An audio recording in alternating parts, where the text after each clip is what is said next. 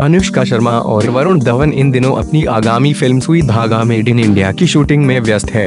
Yashraj film की इस film की शूटिंग इन दिनों मध्य प्रदेश के चंदेरी में चल रही है।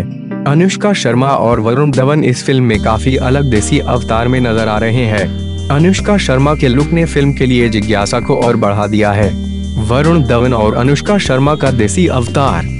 बीते हफ़्ते अनुष्का और वरुण ने सुई धागा मेड इन इंडिया के दूसरे शेड्यूल की शूटिंग मध्य प्रदेश में शुरू कर दी है। फैंस के साथ हाल ही में दोनों एक फ़ोटो भी क्लिक करवाई। वरुण जहाँ इस तस्वीर में खाकी पेंट और पिंक शर्ट पहने हुए है। मूछ वरुण पर काफ़ी फब रही है। वहीं अनुष्का सिंपल मेकअप के साथ ग्रीन सलवार सूट में नज़र आ रही है। इस तस्वीर में अनुष्का प्रिंटेड साड़ी पहने अपने सिर पर घूंघट लिए हुए बस के पास नज़र आ रही है। जबकि एक तस्वीर में वरुण मध्य प्रदेश में फ़िल्म की शूटिंग के दौरान स्वेटर पहने हुए नज़र आ रहे हैं। इतना ही नहीं, अनुष्का ने अपनी कढ़ाई का कौशल दिखाते हुए एक वीडियो भी शेयर किया जिसमें वे कढ़ाई करती हुई नज़र आ रही है। आत्मनिर्भरता की भावना को दर्शाती है सुई धागा मेड इन इंडिया।